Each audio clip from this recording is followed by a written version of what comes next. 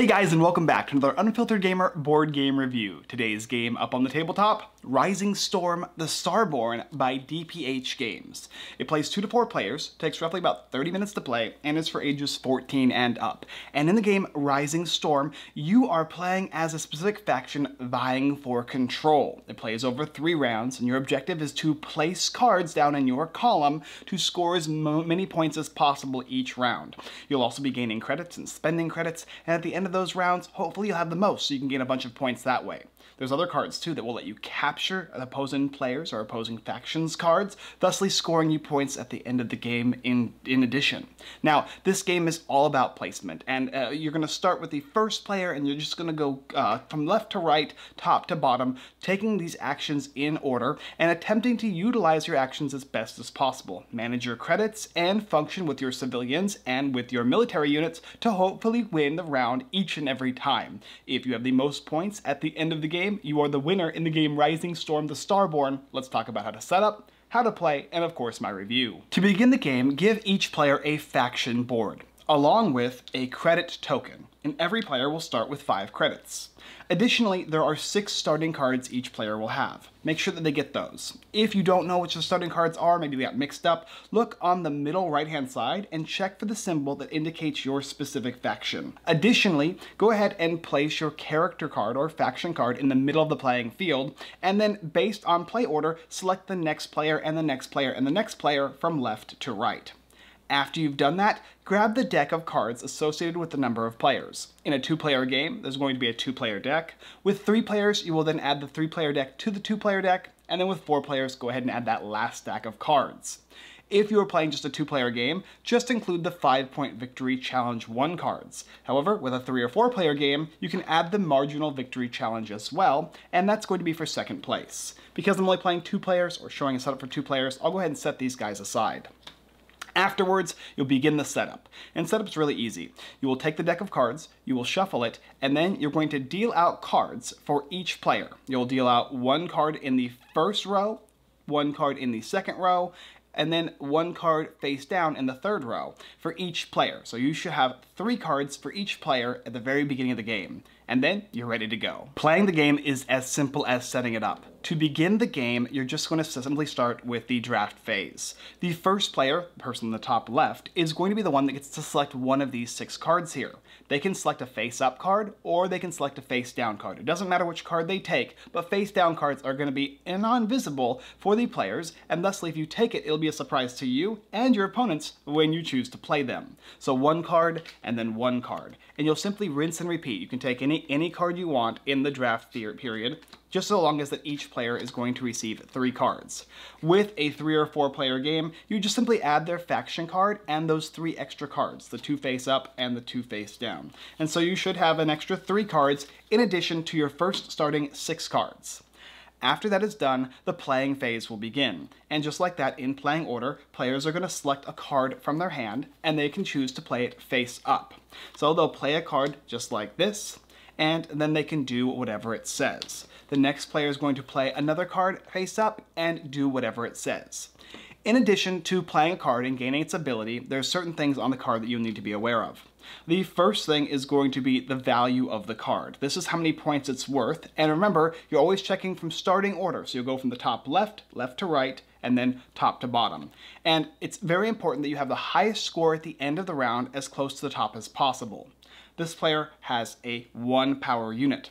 Underneath the power is a cost. So this is gonna say zero credits. So it's a free card to play. So when playing the Sapper here, it says that I can steal up to two credits from the player that won this challenge. It's a great card to play if you do not think you're going to win. The Diplomat, on the other hand, is going to cost zero credits as well and be worth one power, and it says that military cards have a power of zero. Well, what's interesting about military cards is they are in red and military cards typically can be combined. Only two cards can be combined, but when you combine them, you'll score their power in addition to each other. So a two and a two, you get four power, which can easily win you the game. Sadly, with the Diplomat though, it's gonna be difficult to do that. After the card's been played up for the first row, and you'll move on to the next, and you'll simply once again choose a card and place it down. And always rinse and repeat. Check to see if it has a certain number of power and check to see if there's a cost. Play a face down card um, under this card and you'll reveal at the end of the challenge. So I would select a card from my hand and I would place it face down. And then the next player is going to get to go. And let's go ahead and show you what happens with uh, some of the cards for credits. Like the Merchant. The Merchant is going to have one power, and it's going to give you two credits. So you'll actually go up on the tracker here because some of them will give you credits. Additionally, you'll get to draw a card from the Storm deck. Next play is going to go, and in this case, let's show you what happens when you have to pay for something. How about a Special Ops? You may capture an enemy civilian card, it's going to have one power, and it's going to cost you one credit, so you'll actually go down on the track. But with these two combined, right now, you're going to have a power of two. But sadly, the Diplomat is in play. Thusly, they're going to be worth zero. However, you can still capture a, an, an enemy civilian card. Civilians are in blue, and you can capture this Diplomat. Captured cards will go onto your player board, and at the end of the last round of the game, you will score points based on the capture power or capture value at the bottom right-hand side. The next play is going to be resolved. Once again, they will select a card from their hand. They will play one down. Well, look, we got the Statesman there. Uh, that's going to give you plus one as far as credits go. And while in play, other civilian cards in this column have plus two power, which is very, very useful. Now the three face cards have been played face up, so you're going to have one more play for each player, and you'll be placing cards face down. You'll place a card face down for this player, and then somebody's going to play a card face down for this player. And then you're going to reveal all at once. You'll flip these guys over, and you will do their order of operations. You'll start from left and you go to right. This, uh, the Sapper is going to cost zero, steal up to two credits from the player that won this challenge. The Emissary, other civilian cards in this column may not be captured. So just in case somebody wanted to try and capture, they can't do that now. Then you'll go from top to bottom, left to right, and resolve anything that might be in play. So, like a secret agent, this card will be revealed, and you'll check to see what it does. Oh, in this case, I'm going to gain one credit, and cards in this column cost one credit fewer to play. Probably not a great card to play face down, but that's just simply what it does. And you'll just go ahead and check. After that, you're going to see who won. You'll see who has the highest power. He's got a 3 here. And we have a 3 here a 1, and a 2. Uh, also, remember that these two are going to be an increase in value for military, which is 2 points. And it's based on order of operations as to who wins the game. So the winner here would be the Oligarch, the Starborn 142nd. They would score 5 points. After you score, you'll check to see if any other abilities exist, like the Sappers. There's two of them here, so that this player thought that the Sway was going to win. Sadly, they won, so they do not get to steal four credits from the winning challenger, or the winning player. After that happens, all of these cards are going to be discarded. When these cards are discarded, you will start the next round.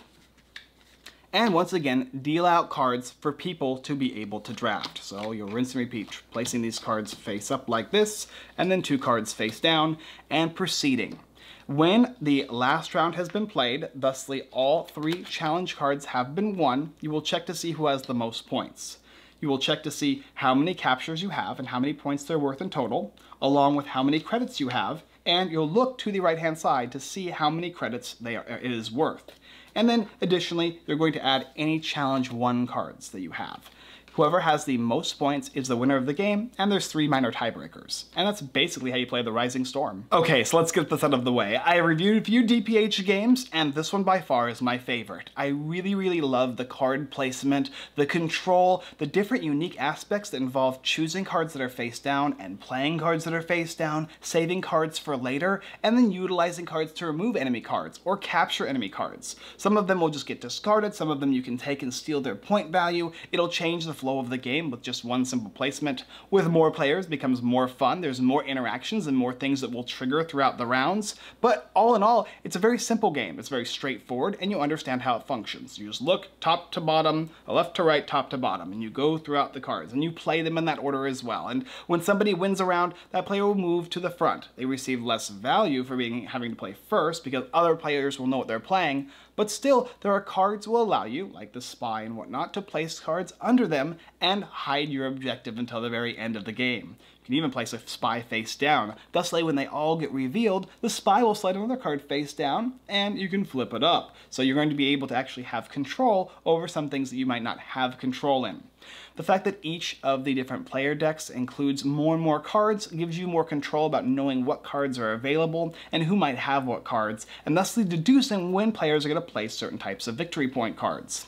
Not only that, but you don't have to win a round and score these five points in order to win a round. You can simply utilize your cards to score you more credits that you can use either later, or to score you victory points at the end of the game. So, so for instance, if you have 16, 17, or 18 points, that is worth 18 victory points, which is more points than all three challenges won. And that is one way that you can score. So you can focus on simply getting credits and stealing and or capturing units. And that could be all you need to do to win the victory. You don't actually have to worry about the power. Or maybe you want to go all out power in capture mode. So you're capturing people's units, you're trying to increase your military might, and preparing to use those cards to remove cards like the diplomat, who is going to say military cards have a power of zero, that kind of thing. Can It can like kind of reduce the likelihood of you failing by, by knowing what you're going to play uh, in upcoming rounds and preparing for people to play certain cards. Cards are better in certain slots at certain times, and as you play the game, you will get better at understanding that. But overall, the game is very simple to understand as you start, and you'll make bad choices, and when you make those choices, you will learn from them very quickly. It's a light game. This game is 30 minutes, that is correct. It could even be a little shorter depending on the number of players you're playing with. Three to four to, uh, one, two, three, uh, two, three, four, it doesn't matter how many players you play. The game is still pretty straightforward. It's not gonna add a huge amount of extra time in, invested into the game, and it's really easy to sit down and play. Uh, the artwork is great. I like the artwork. I love the cards. The cards are very easy to understand. This is the power. This is how much it costs. Here's what happens when you get captured. And of course, your ability. And that's all you need to really know, other than just, is it a military or a civilian card? Um, one thing they could do a little better, I suppose, maybe introduce, explain how these guys, you can only have two of them. I think it's explained just in the back of the rulebook and in their rules video. But maybe it just says like, I don't know exactly what it'd say, only two or so, something on that to kind of just illustrate that point. It's not super confusing after you just know the rule, it's really simple, but it can be a little bit confusing as to learning the game. This overall is an excellent game. It's a lot of fun, it's very straightforward, it's very streamlined, and you'll want to play again after you've played it, and as you understand it, you will get better at it. The artwork, like I said, is solid. Uh, this is a prototype, so everything you see here is prototype quality. These boards are going to be actual boards, etc., etc., but the game is a heck of a lot of fun. As far as negatives go, I mean, it's going to be a lighter version, a lighter, lighter card game, something that's pretty straightforward, and um, I don't really have a whole lot of negatives actually. It's just one of those things where you're either gonna like this game, you're gonna be liking card placement, hidden card placement, revealing and scoring points, or it might not be for you but it is for me. Thank you guys for watching another Unfiltered Gamer board game review for the Rising Storm The Starborne. If you're interested in picking up this game, there is a link down below which will take you to the Kickstarter. You can also check out the rest of our videos here, like, subscribe, and comment, hit that bell notification button. If you haven't subscribed and this is at least your second video, please consider subscribing. It greatly helps the channel out, and it makes us continue to want to do the work here. If I have earned your subscription, push the button. Uh, we have a live stream every Wednesday on Whatnot where we sell board games. Um, usually a lot of used games, uh, older older games, and some newer ones as well. And you can join us there. You can also go ahead and join us on our regular live streams where I'm actually going to want to play this live on stream to show people how fun this game is. And that is on 6 uh, 6:30 p.m. PST on Sundays on Twitch, Facebook, and YouTube. You can't miss us if you if you go to our channels at 6:30. All right, guys, that's pretty much all I got for you. And as always, I look forward to defeating your factions and conquering the galaxy without you next time.